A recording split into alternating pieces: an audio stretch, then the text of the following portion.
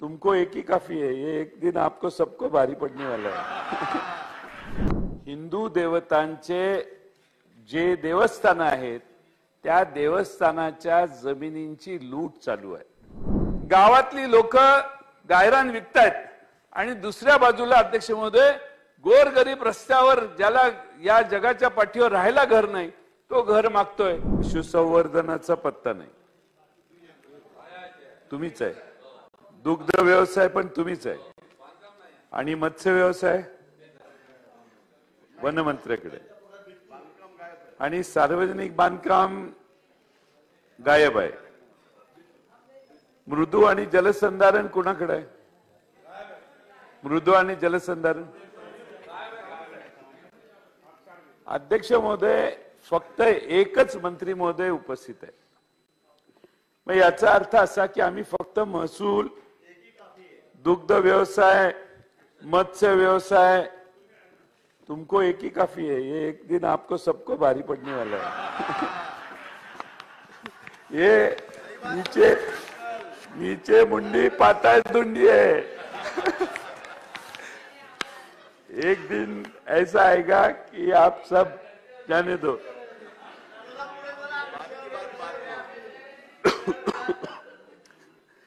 अध्यक्ष महोदय महाराष्ट्रात महसूल विभागामध्ये काय चाललेलं आहे? या राज्यामध्ये हिंदू देवदेवतांचा सन्मान झाला पाहिजे असं ज्या बाजूने सांगितलं जातं त्यांच्याच राज्यामध्ये हिंदू देवतांचे जे देवस्थान आहेत त्या देवस्थानाच्या जमिनींची लूट चालू आहे. अध्यक्ष महोदय महाराष्ट्रामध्ये ज्या ज्या ठिकाणी देवस्थान आहेत त्या सर्व देवस्थानांच्या जमिनी हडप करण्याचं षडयंत्र गेले काही वर्ष चालू आहे. मी आत्ताच चालू आहे असं म्हणत नाही. गेले तीन चार वर्ष पाच वर्ष हे प्रकार आहेत. आणि अध्यक्ष महोदय अगदी मंत्रालयापर्यंत याची अपील घेऊन त्याच्यावर निर्णय देण्याचे प्रकार देखील झालेले आहेत. अध्यक्ष महोदय पहिल्यांदा आपण जर हिंदू देवता आणि हिंदूंच्या बद्दल एवढा आग्रह धरत असू तर या हिंदू देवस्थानांचा जमिनी ज्या दिल्यात आलेल्या आहेत पूर्वी पूर्वंपारपणाने जमिनी ज्या कसल्या जातात ज्यांना देवस्थानाचं उत्पन्न देवस्थानाला जातं त्या जमिनींचं संरक्षण झालेलं नाही. किंबहुना याची लूट झालेली आहे याची अनेक उदाहरणं आहेत. अध्यक्ष महोदय एकोणीसशे सत्तेचाळीस साली आपल्या देशात लोकशाही आली त्यावेळी संस्थानांना तीन पर्याय होते विलिनीकरणाच्या बाबतीत. भारतात सामील व्हावं पाकिस्तानात सामील व्हावं किंवा स्वतंत्र राहावं. अध्यक्ष महोदय आपल्याला भारतात एक असं संस्थान होतं की ज्यांनी स्वातंत्र्य मिळण्याच्या खूप आधी संस्थानाचा कारभार हा जनतेच्या हातात सोपवलेला ते म्हणजे औंच संस्थान औंच्या संस्थानामध्ये काय?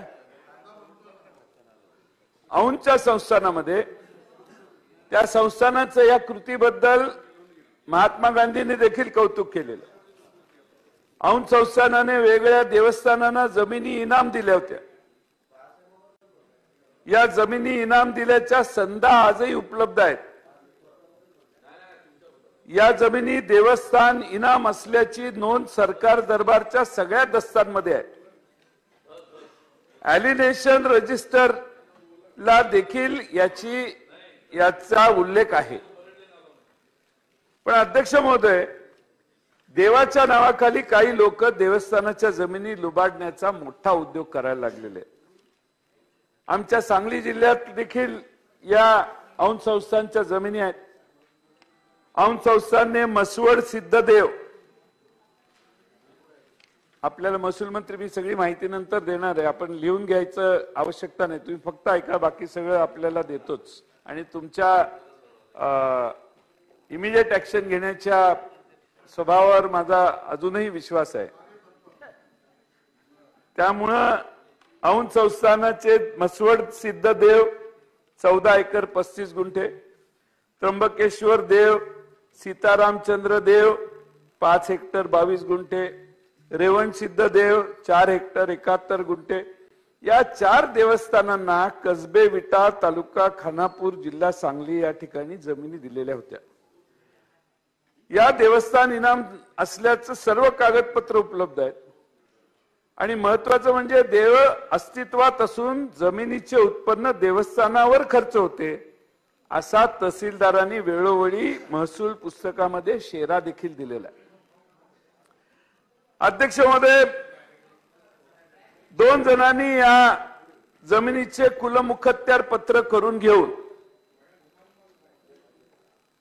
अगदी महसूल राज्यमंत्र्यांच्या न्यायालयात खोटं कथन केलं की या जमिनी देवस्थान नाही या जमिनीवरचा देवस्थान इनाम वर्गचा शेरा कमी करण्यात यावा. त्यावेळी तत्कालीन राज्यमंत्र्यांनी त्यांचं कथन मान्य केलं आणि या जमिनीवरचा देवस्थानचा शिरा कमी केला. अध्यक्ष महोदय हा पूर्वी निर्णय झालेला आहे. हा पूर्वी तुमच्या सरकारच्या वेळी नाही झालेला पूर्वी निर्णय झालेला पण अध्यक्ष महोदय त्यानंतर सदर प्रकरण पुनर्विलोकनासाठी घेण्याबद्दल मागच्या महसूल मंत्र्यांनी सांगली जिल्हाधिकारी यांना प्रस्ताव सादर करावा असा स्पष्ट लेखी आदेश एक वर्षभर देऊन झालं. पण अध्यक्ष महोदय सांगली जिल्हाधिकाऱ्यांच्याकडे हे प्रकरण प्रलंबित आहे. अध्यक्ष महोदय सदर जमीन देवस्थान इनाम वर्ग तीन नसेल तर का नाही? या मुद्द्याचा कोणताही चर्चा न करता त्यावेळी पूर्वी आदेश देण्यात आला. अध्यक्ष महोदय माझ्याकडं त्या देवस्थानाचा सगळा इतिहास आहे तो सांगून मी वेळ घेत नाही. पण अध्यक्ष महोदय या जमिनी देवस्थानाकडून घेण्यात आल्या या जमिनी दुसऱ्यांना विकण्यात आल्या आणि कोट्यावधीची संपत्ती यातनं निर्माण करण्यात आली. कागदोपत्री सर्व पुरावा आहे. आपल्याकडं त्याची माहिती देण्याची व्यवस्था आम्ही करू. अध्यक्ष महोदय आपल्या राज्यामध्ये या ठिकाणी आणखीन एक असाच विषय आहे मी याच्यावर प्रश्न विचारलेला. त्याचा प्रश्नाची उत्तर काही प्रमाणात आली काही प्रमाणात आमचं समाधान झालं नाही. अध्यक्ष महोदय बीड जिल्ह्यामध्ये तालुका आष्टी विठोबा देवस्थान खरडा अध्यक्ष महोदय जमिनी लाटण्याच्या बाबतीत एक सुंदर ही रंजक कहाणी आहे. कशा जमिनी लाटल्या गेल्या? ज्या प्रकारे जमीन लाटण्याचे उद्योग चालू आहेत त्याच्यावर एखादा सिनेमा किंवा एक रहस्यपूर्वक कादंबरी लिहिता येईल अशी ही परिस्थिती आहे. एखाद्याला आयुष्यामध्ये कोट्यावधी रुपये कमवायचे असतील तर लोक आयुष्य खर्च करतात पण तरी देखील त्यांची इच्छा पूर्ण होत नाही पैसे गोळा करणं निर्माण करणं शक्य होत नाही.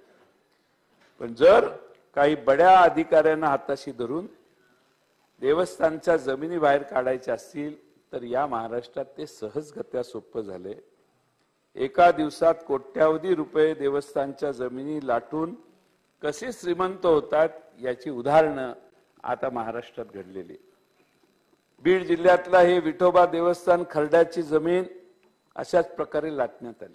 आपण चौकशी करावी अशी आमची मागणी एक्केचाळीस एकर जमीन देवस्थान इनाम जमीन होती. मार्तंड नावाचा पुजारी ही जमीन कसत होता? मात्र हा पुजारी अविवाहित असल्याने त्याला कोणतंही दाम्पत्य नव्हतं. आणि त्याचा दोन एकोणीसशे चाळीस मध्येच मृत्यू झाला. त्यामुळे ही जमीन सरकार दरबारी पुन्हा जमा झाली.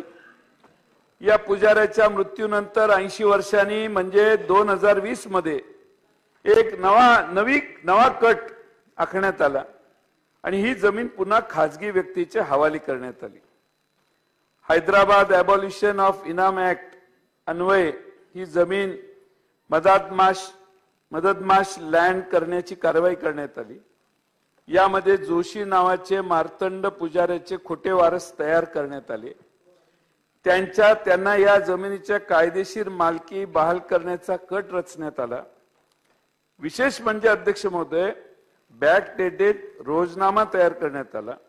बॅक डेटेड आदेश तयार करण्यात आले. बॅक डेटेड सर्व हस्ताक्षरात कागद तयार करण्यात आले.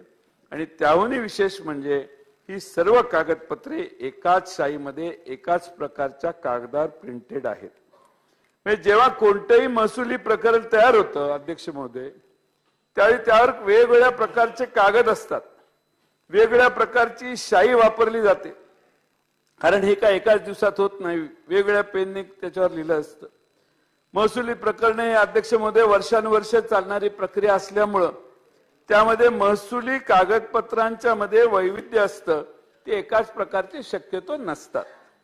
सर्वात आश्चर्याची गोष्ट अशी की ज्या जमिनीची मालकी विठोबा देवस्थान खर्डाकडे पुरी होती त्या देवस्थानला या संपूर्ण महसुली प्रक्रियेत कुठेही पार्टी करण्यात आली नाही. फक्त महाराष्ट्र शासनाला पार्टी करण्यात आलं. महाराष्ट्र शासनाला नोटीस इश्यू झाल्याचे कोणतेही पुरावे आजच्या घडीला उपलब्ध नाहीत. महाराष्ट्र शासनाच्या अधिकाऱ्यांनीच महाराष्ट्र शासनाला चुना लावलाय असं एकंदर दिसतंय याच्यात. जेव्हा अध्यक्ष महोदय तुम्ही एखाद्या व्यक्तीचे वारस आहात असा तुमचा दावा असतो त्यावेळी तुम्हाला सिव्हिल कोर्टाचे सक्सेशन सर्टिफिकेट लागतं. म्हणजे एक प्रकारे घोषणापत्र की या व्यक्तीचा हा वारस आहे.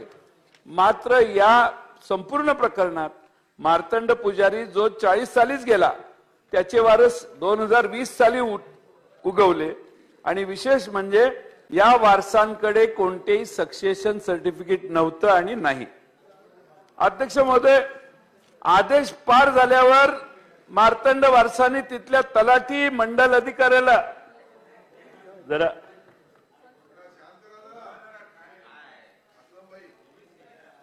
तुम्ही एक जाऊ द्यात.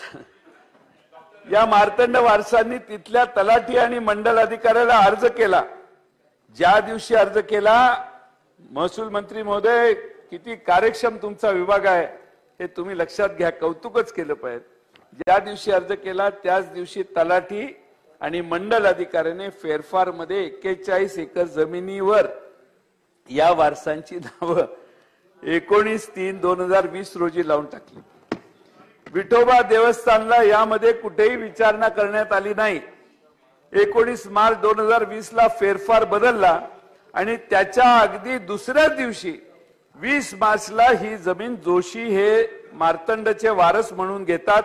त्यांनी साठे खताच्या द्वारे रत्नपारखी नावाच्या व्यक्तीला दिली.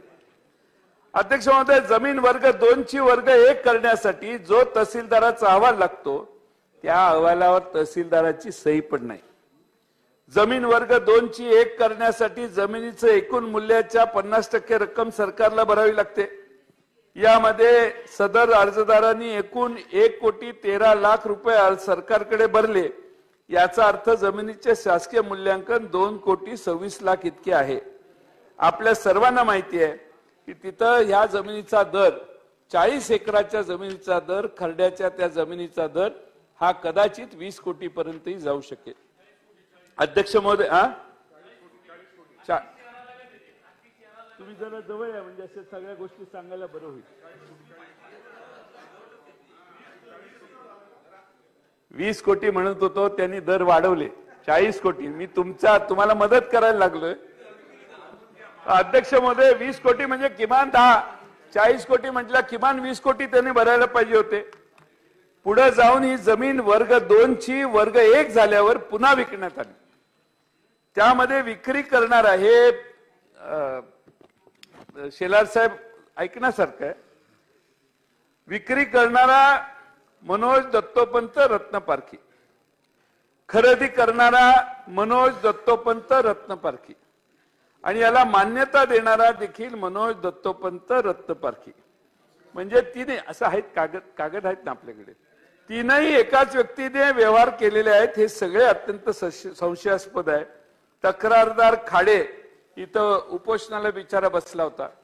त्या तक्रारदार खाडेने कित्येक वर्ष पाठपुरावा करत होते. मात्र कुणीही त्याची दखल घेतली नाही. एफ आय आर नोंदवला गेला नाही. शेवटी या खाडेने उच्च न्यायालयात जावं लागले. उच्च न्यायालयाने एफ आय आर नोंदवण्याचे आदेश दिलेले आहेत.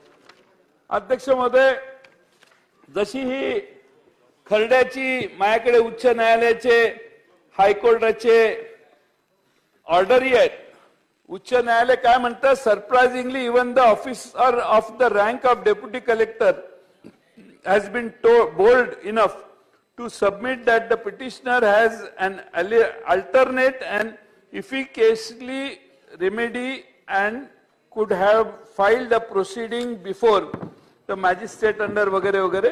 आणि त्यात ते सगळं ऑर्डर आहे मी तुम्हाला देतो. अध्यक्ष महोदय तिथंच पिंपळेश्वर महादेव देवस्थान आष्टीचं. याचा अध्यक्ष कोण आहे याची जरा माहिती घ्या. ज्यांच्या नावे ह्या जमीन ट्रस्टची जमीन खालसा करण्यात आली आहे. ती दूध संघाचा कर्मचारी आहे. दूध संघात काम करणाऱ्या माणसाच्या नावाने चोपन्न का साठ एकर जमीन ही दूध संघाच्या कर्मचाऱ्याला देण्यात आलेली आहे.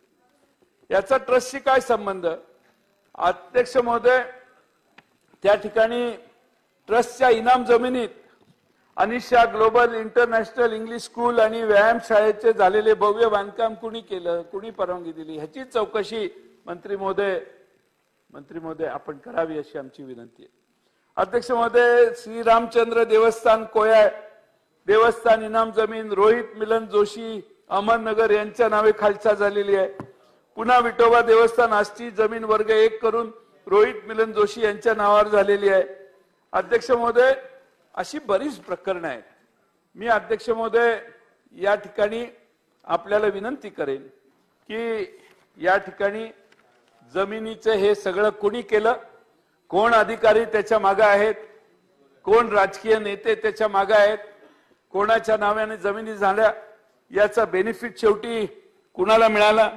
आणि तो बेनिफिट मिळत असताना अध्यक्ष महोदय काय काय झालं याचा खुलासा याची माहिती माझी तर आपल्याला विनंती आहे मंत्री महोदय एका महिन्याच्या आत मी म्हणत नाही आजच्या आज एका महिन्याच्या आत तरी याचा कारण शक्यच नाही आणि बराच घोटाळा मोठा आहे.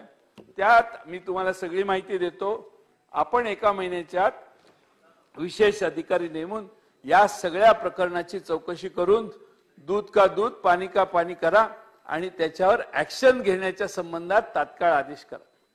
अध्यक्षमध्ये आपल्या गायरान जमिनींचा प्रकारही काही वेगळा नाही. माझ्या जिल्ह्यामध्ये दिगंची नावाचं एक गाव आहे आटपाडी तालुक्यात. अध्यक्ष महोदय दिगंची गावात नॅशनल हायवेला लागून चाळीस एकर गायरान जमीन आहे. जमिनीची किंमत कोट्यावधी रुपये आहे. जमिनीवर मोठ्या प्रमाणात अतिक्रमण केले ग्रामपंचायतीचे पदाधिकारी आणि अधिकारी यांनी गायरान जमिनीचे विखे पाटील साहेब प्लॉट पाडून विकायला सुरुवात केलेली. गायरांची नाही. दुसरीकडे. अध्यक्षमध्ये ग्रामपंचायत पदाधिकारी आणि अधिकाऱ्यांनी हे केले. दोन हजार एकोणीस ते बावीस या काळात या जमिनीत पाच एकरावर रोजगार हमी योजनेची अंतर्गत ती बिहार योजना आहे त्या अंतर्गत झाडं लावलेली आहेत. झाडं लावलेली काढली आणि ती प्लॉट पाडून विकायचा कार्यक्रम झाला. आता अध्यक्ष महोदय एकोणतीस जून दोन हजार वीस ला प्रांत यांच्या अध्यक्षतेखाली चौकशी समिती नेमण्यात आली होती. त्यांनी काही कारवाई केली नाही. मी जिल्हाधिकाऱ्यांशी परवा बोललो त्यांनी सांगितलं की आम्ही कारवाई करतो. आता त्यांनी त्या ग्रामसेवकाला बहुतेक काढलेलं आहे कारणे दाखवा नोटीस. आता ग्रामसेवक पोलिसांना संरक्षण मागतोय की संरक्षण द्या म्हणजे मी ते अतिक्रमण काढतो. अध्यक्ष महोदय या ठिकाणी एके ठिकाणी ग्रामपंचायत म्हणजे धनदांडग्यांना जमिनी दिलेल्या आहेत. धनदांडगे सगळे श्रीमंत लोक गायरान तुमचं विकून चाळीस एकरातलं तीस एकर जमिनीत प्लॉट पाडून त्यांनी दिगंची गावातलं गायरान विकून टाकलं. आणि आज या सभागृहाच्या बाहेर इथं आझाद मैदानामध्ये आमच्या हजारो एकर हजारो लोक येऊन ज्यांनी गायरानात कुठंच जागा मिळत नाही म्हणून घरं बांधलेली आहेत किंवा नाईलाजानं अतिक्रमण केले आणि चाळीस पन्नास वर्ष राहत आहेत त्यांनी त्यांचे साठी या ठिकाणी प्रतिभा शिंदेच्या नेतृत्वाखाली मोर्चा आणलेला आहे. अध्यक्ष महोदय त्यांचा प्रश्न वेगळा. चर्चेला बोलवा आणि त्यांचा प्रश्न सोडवा. पण एका बाजूने गावातली लोक गायरान विकतायत आणि दुसऱ्या बाजूला अध्यक्ष महोदय गोरगरीब रस्त्यावर ज्याला या जगाच्या पाठीवर राहायला घर नाही तो घर मागतोय. हा विरोधाभास आहे. आणि म्हणून प्रतिभा शिंदेची बाजू तुम्ही ऐकून घ्याल त्यांना न्याय द्यालच पण असे आटपाडीतल्या धनदानग्या लोकांच्या संदर्भात देखील आपण अध्यक्ष महोदय तात्काळ काळजी घेण्याचं काम कराल. अध्यक्ष महोदय राम सूर्यवान खाडे ज्याचा मुद्दा मी त्या दिवशी प्रश्नातही मांडला त्यावेळी मी सांगितलं की अध्यक्ष महोदय त्यावेळी मी सांगितलं होतं की त्याला संरक्षण द्या. कारण तो गेले काही दिवस काही महिने काही वर्ष याच्यावर लढाई करतोय. त्याला राम सूर्यबान खाडे सामाजिक कार्यकर्ता आहे करेवाडी तालुका आष्टीचा त्याला संरक्षण देण्याचं कामही करण्याचं काम आपण करा. डोंगर कधी आलं? डोंगर कधी आलं?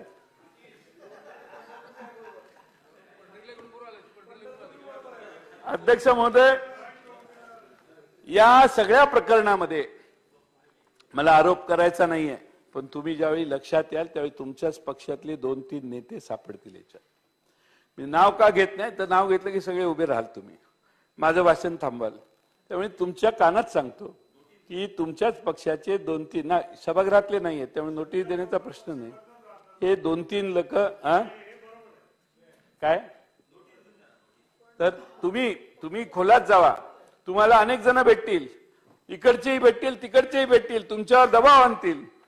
पण लोणीचं पाणी तुम्ही दाखवा आणि ठामपणाने याच्यावर निश्चित अशी कारवाई करा.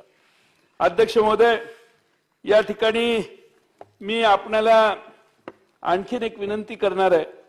आपण अध्यक्ष महोदय आपल्या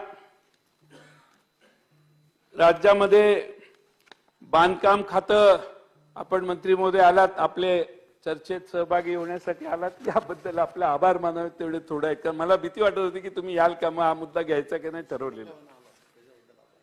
त्यामुळे अध्यक्ष महोदय हो जाऊन तुमचं संपलेलं आहे तर. तुमचं आहे पुढं. तुमचं संपून भैया तोपर्यंत त्यांना घेतो.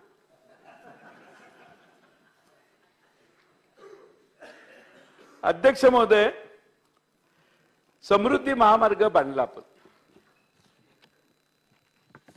एकंदर त्याचा खर्चही मोठा झालेला आहे. मुंबईतलं M M R D A MHADA अशा सगळ्या संस्थांकडून आपण पैसे उभे केले. आमच्या सरकार होतं त्यावेळी उद्धव ठाकरे साहेबांच्या नेतृत्वाखाली त्याच्या अनेक मिटिंग घेऊन त्यांच्या पैशाच्या उभारणीसाठी देखील उद्धव ठाकरे साहेबांच्या पासून सगळेच आम्ही चांगल्या पद्धतीनं त्यावेळी पैसे उभा करण्याचा इश्यू होता. त्यावेळी देखील आम्ही अडीच वर्षात तर त्याचं मेजॉरिटीनं काम तुमच्या काळात सुरू झालं अडीच वर्षात झालं काम चांगलं झालं. लवकर माणसं येणं हे कुठल्याही राज्याला सोयीचं आहे त्यात काही वाद नाही.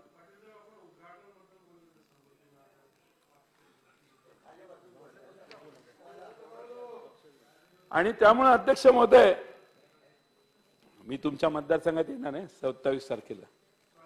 परत सांगितलं नाही असं म्हणू नका. अध्यक्ष महोदय मी सांगणारच होतो तुम्हाला. अध्यक्ष महोदय आपण आता अर्थसंकल्पात माननीय मुख्यमंत्र्यांनी घोषणा केलेली आहे. मुंबईपासून गोव्यापासून गोव्यापर्यंत नागपूरपासून एक महामार्ग करणार आहे. इकडं ग्रीन फील्डचा एक रस्ता गडकरी साहेबांच्या माध्यमातून आमच्या जिल्ह्यात होतोय. त्यांना रेडी रेकनरच्या दुप्पटच व्हॅल्यू द्यावी. आजच कालच मोर्चा झाला आमच्या जिल्ह्यात काही लोकांनी काढला. त्यांचं म्हणणं रेडी रेकनरच्या दुप्पटच व्हॅल्यू म्हटल्यावर आम्हाला परवडत नाही आम्ही जमिनी देणार नाही. काहीतरी मार्ग आपण लक्ष घाला. नितीन गडकरी साहेबांचा तो ग्रीनफील्ड रस्ता जो आहे त्याने बेंगलोर पर्यंतचं अंतर कमी होणार आहे. पण त्या शेतकऱ्यांना आमच्या जिल्ह्यातल्या सगळीकडे जसं देतो आपण तशी नुकसान भरपाई द्यावी आणि जास्तीत जास्त नुकसान भरपाई द्यावी यासाठी आपण का प्रयत्न करावा. पण अध्यक्ष महोदय आपण तीन हजार किलोमीटरचा हायवेची घोषणा आता सभागृहात केली. अर्थसंकल्पात. अध्यक्ष महोदय मला असं वाटतं की याला तीन लाख कोटी रुपये उभा खर्च खर्च करावा लागेल. तीन लाख कोटी रुपये उभा करताना मी बजेटमध्ये बघितलं. एकदा बजेटमध्ये स्टेटमेंट आलं की त्याची प्रोव्हिजनही आली पाहिजे. साधारण चांगलं बजेट ज्यावेळी म्हणतो आपण त्यावेळी आपण ज्याचा उच्चार करतो आणि मेजर महत्वाकांक्षी घोषणा असतात तर त्याची प्रोव्हिजन बजेटमध्ये पाहिजे. आज बजेट पंचवीस हजार कोटी सोळा हजार कोटीचं रेव्हेन्यू डिफिसिट आहे. पंच्याण्णव हजार कोटीनं आपली हे आहे राजकोषीय तूट आहे. अध्यक्ष महोदय त्यामुळे या तीन हजार किलोमीटरच्या रस्त्याला प्रोव्हिजनच नाही. आणि त्याला पैसे किती लागणार? तर तीन लाख कोटी रुपये लागणार. अध्यक्ष महोदय माझ्या माहितीनं मी मंत्रिमंडळात होतो त्यावेळी मला आठवतं की आपण समृद्धी मार्गाला पैसे उभा करता करता आपले जे रत्न आहेत M M R D A MHADA या ज्या पैसे असणाऱ्या संस्था आहेत एस आर ए असेल या सगळ्या पैसे सगळे पैसे आपण ताकदीनं तिथं लावले. लावायला विरोध कुणाचा नाही. पण अध्यक्ष महोदय आता तुम्ही हे पैसे कुठून उभे करणार? हे तुमच्या उत्तरात आम्हाला कळलं पाहिजे. ते पैसे उभा करताना तुमचं स्ट्रक्चर काय ठरलेलं आहे? घोषणा केली म्हटल्यावर काहीतरी अभ्यास केलाच असेल. त्यामुळं नागपूरवरून गोव्याला आणि मुंबईहून नवा मार्ग आपण समुद्राच्या कडेने काढणार आहोत. या दोन्ही मार्गाला आता मूळ जो मार्ग आहे तो अजून व्यवस्थित झालेला नाही. मध्ये बराच चर्चा त्याची झाली. म्हणजे पनवेल पासून खाली गोव्याकडे जाणारा. त्या मूळ मार्ग पूर्ण झाला का? त्याचे किती अंतर राहिलेलं आहे? साफ झालाय तो रस्ता चांगला झालाय. त्याच्याबद्दल काही तक्रार नाही आपली. पण अजून बरचसं अंतर राहिलेलं आहे. त्याला किती रक्कम लागणार? मग हा नवीन जो नवा स्वप्न आपण मुख्यमंत्री महोदयांनी त्यांच्या उत्तरात त्या दिवशी सांगितलं त्याला पैसे कुठून उभे करणार? त्याचा हिशेब सभागृहाला जर कळला तर अध्यक्ष महोदय आपण गॅरंटी किती घेणार? मग राज्य सरकारच्या गॅरंटीवर आपण किती कर्ज काढणार?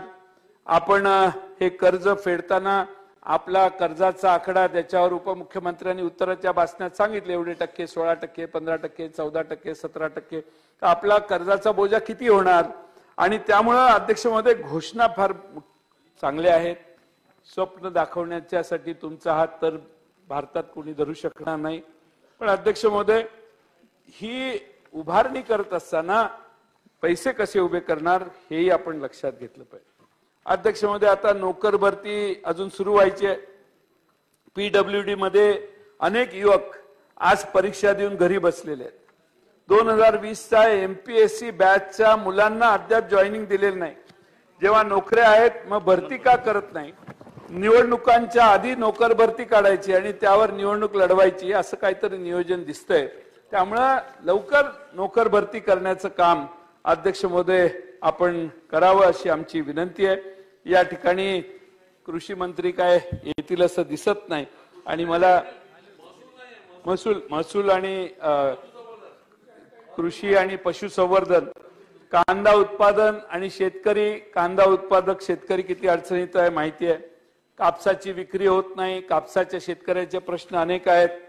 विमा कंपनीला आता एक रुपयातच विमा देणार म्हणताय. तर माझी सरकारला विनंती आहे की प्रीमियम भरणं ही महाराष्ट्रातल्या जनतेनं शेतकऱ्यांनी कधीच नकार दिला नव्हता. त्यांची तक्रार होती ती विमा कंपन्यांच्या खोडसाळ आणि त्यांना पैसे वाचवण्यासाठी सोयीच्या असणाऱ्या अटी घालण्याची जाचक अटी. आणि महाराष्ट्रातल्या कानाकोपऱ्यात आज शेतकरी विम्याच्या बद्दल का आग्रही आणि विरोधात आहे तर त्याच्या जाचक अटी दुरुस्त करा. जर तुम्ही एक रुपया भरून घेतला तर मग आता थोडं प्रीमियम भरत होते तरी देखील विमा कंपन्या यांना काही उत्तर देत नव्हत्या. आता एक रुपयाने तर त्या शेतकऱ्याला दारातच उभ्या करणार नाही. म्हणून तुम्ही निर्णय घेतलाय बरं वाटावं म्हणून लोकांनाही बरं वाटावं म्हणून आहे. पण अध्यक्ष ज्यावेळी विमा परत घेण्याची आता अवकाळी पाऊस झाला काल अशी परिस्थिती आल्या रे विमा कंपन्या पैसे देणार आहेत? शक्यच नाही. आमच्या द्राक्ष बागायतदार शेतकऱ्यांच्या बाबतीत एवढ्या आजचे पंचवीस मिलीमीटर पाऊस सतत तीन दिवस पडला पाहिजे म्हणजे पंच्याहत्तर मिलीमीटर झाल्यावर त्याला नुकसान भरपाई धरतो. एकदा दहा पडतो एकदा पंचवीस पडतो एकदा तीस पडतो एकदा सतरा पडतो एकदा तेवीस पडतो. ते म्हणतात नाही सॉरी पंचवीस पाहिजे. त्यामुळे अशा जाचकटी या दुरुस्त करण्याचं काम हे सरकार करणार आहे का? एक रुपयाचा विमा भरा नाही तर प्रीमियम भरायला शेतकऱ्यांना सांगा. ते भरतील शेतकरी. त्यामुळे ही तुमची जाहिरात जी आहे किंवा तुमची जी भूमिका आहे ती शेतकऱ्याला फसवणारी आहे. शेतकऱ्याच्या हितासाठी काही विमा कंपन्यांच्याशी आणि आता विमा कंपन्यांना तुम्ही प्रीमियम देणार. विमा कंपन्यांचा पारदर्शी टेंडर काढून पारदर्शी असा डिस्ट्रीब्युशन तुमचं म्हणजे कंपॅरिझन करून पारदर्शीपणानं प्रीमियम द्यायचा निर्णय घ्या. विमा कंपन्या सिलेक्ट करताना घ्या अशी माझी विनंती आहे. बाकी बरेच मुद्दे आहेत आमचे सर्व बाकीचे सदस्य बोलतील. पण या निमित्ताने माझी सरकारला विनंती आहे की आपण माननीय महसूल मंत्री मी दिलेले प्रश्न उद्या तुमच्या हातात सगळे फाईल देतो. माझी विनंती आहे तुम्ही उत्तराच्या भाषणात सांगा एका महिन्यात याची चौकशी करू आणि या बाबतीत आम्ही तात्काळ काळजी करण्याचं काम ताब ताबडतोब आम्ही करू. अध्यक्ष महोदय कृषी मंत्री सभागृहात यायलाच आता घाबरायला लागले. सत्तार साहेब वाट बघून बघून आता काय करणार? ते पा येतच नाहीत. तर पाच मिनिटात येत आहेत म्हणून मला माहिती दिलेली आहे. जेवायला गेले दिसतात. जेवायला गेले असतील तर हरकत नाही. हा? काय? त्यामुळे अध्यक्ष महोदय मंत्री नसल्यावर त्या विषयावर बोलण्यात मजा येत नाही. आणि ते लगेच त्यांचा चेहरा बघून पुढे बोलता येतं आपल्याला. तर अध्यक्ष म्हणून मंत्रीच हजर राहत नाहीत. त्यामुळे तुम्ही अध्यक्ष म्हणून अध्यक्ष स्थानावरून ठामपणानं यांना सांगा पाच मिनिटात सगळे मंत्री आणा तोपर्यंत सभागृह स्थगित ठेवा अशी माझी आपणाला विनंती आहे. हरिभाऊ हरिभाऊ बागडे नाना.